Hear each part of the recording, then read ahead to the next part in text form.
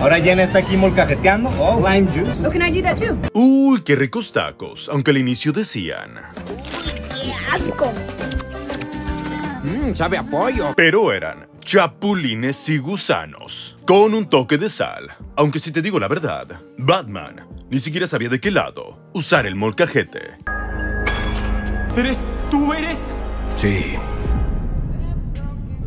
Soy Batman. Pero al final, tanto Batman como Tim Burton, el amigo del viejo sabroso, quien siempre lo anda contratando para todas sus películas.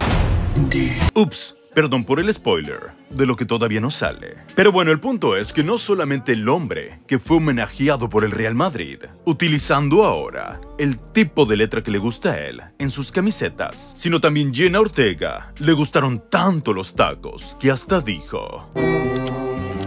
Viscosos, pero sabrosos. Eso es. Sin preocuparse, es como hay que vivir. Y aquí aprendí a vivir así. Y si tú quieres vivir así, suscríbete aquí.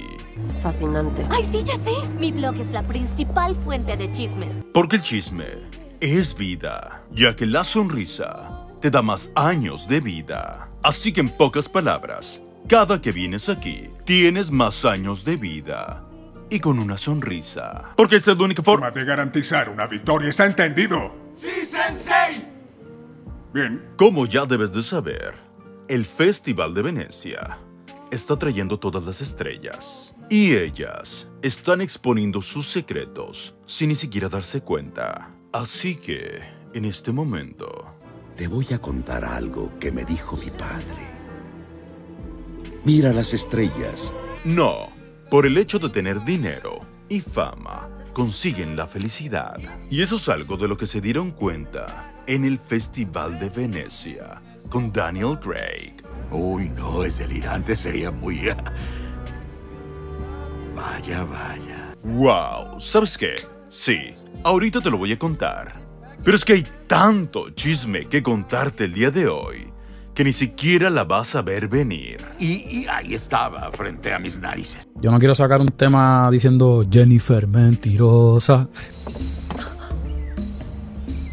¿Cómo dices? Todos los famosos se andan burlando de J-Lo por mentirosa. Porque Jay ahora se portó bien low, poniéndose a demandar a cualquier compañía que haya estado contando sus verdades. Y ahora que rompió el silencio, no vas a creer a quien le echó la culpa de su divorcio. Pero dime qué más. Pues que la señora de los anillos ya se quitó el anillo de Ben y ahora está portando otro. Y ahora está reuniendo toda la maldad a su alrededor. ¿Estás seguro? ¿Cómo? Lo he visto. Ya porta un nuevo anillo y se dio el lujo de postear un mensaje que declaraba cómo se la pasó en el verano sin Ben. Y el mensaje decía... Sí que fue un verano muy caliente, donde obviamente era un mensaje para Ben, declarando que se la pasó lamiendo helado sin él todo el verano. Anyways, siempre supimos que este matrimonio iba a terminar desde que inició. Y la verdad es que duró más de lo que esperábamos, no mucho en realidad, porque aunque en agosto J-Lo tramitó su divorcio, ya estaba separada desde abril. El problema es que ahora J-Lo está demandando a empresas grandes por haber reportado los problemas de alcohol de Ben Affleck. Tú... ah, lo siento. Es tu señal. Exacto. De acuerdo a J-Lo, Batman se encabronó con ella porque se enteraron de los problemas que él tenía chupando y se lo reportaron a todos los medios. Así que los quiere demandar por exponer que Ben volvió a chupar. ¿No crees que, viniendo de ti, es un poco irónico? Porque eras precisamente tú la que le pegabas a todos los medios para que te siguieran a todas partes. Razón por la cual se enteraron que Ben seguía chupando. Y fue de ahí que Ben se molestó con J-Lo, no con los medios. Porque era J-Lo la que quería los medios todo el tiempo, hablando de ella y Ben. Así que de cierta manera, en mi opinión, yo diría que es un pretexto para culpar a alguien más de lo que ella solita se ocasionó. Pero en mi opinión, esa no fue la única razón para dejar a J-Lo. No se hacen embustera. Hubo muchas otras razones. Porque por esas mismas fechas se expusieron todos los secretos de J-Lo. Y Ben tuvo que verlos, aunque no quisiera. Anyways. Escuche, voy a hablarle claro. Yo no soy James Bond. Puedo descubrir la verdad, reunir evidencia. Pero la opinión al final es enteramente tuya. Como por ejemplo, desde el momento en el que a James Bond le dio por hacer su película queer, ya se andaba rumorando que a Daniel le cambiaron sus preferencias. Razón por la cual ha estado teniendo discusiones en público con su esposa Rachel desde hace tiempo. Porque ella también está sintiendo que a Daniel ya le gustó también la... ¡Banana!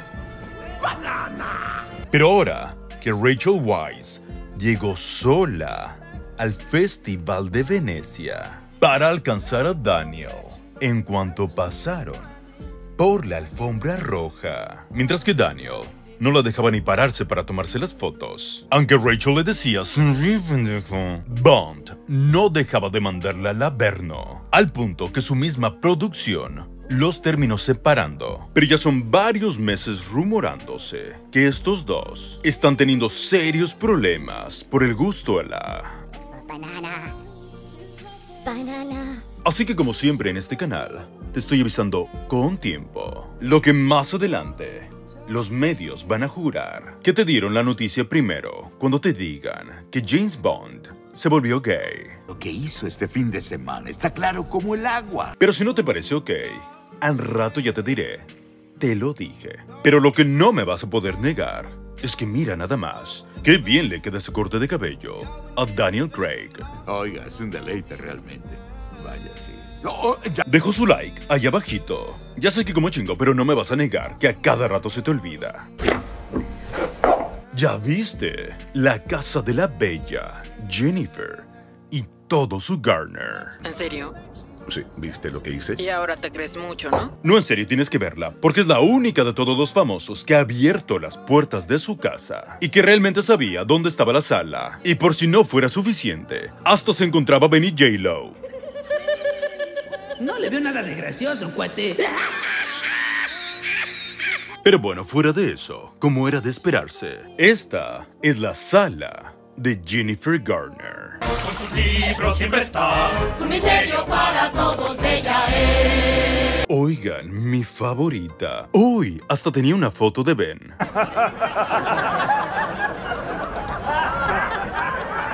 Pero bueno, dejando a un lado el perro, obviamente, la casa de Jennifer es un Garner. Por todas partes. Y lo que no es un Garner es una biblioteca. Uy, mira, Ben apareció otra vez.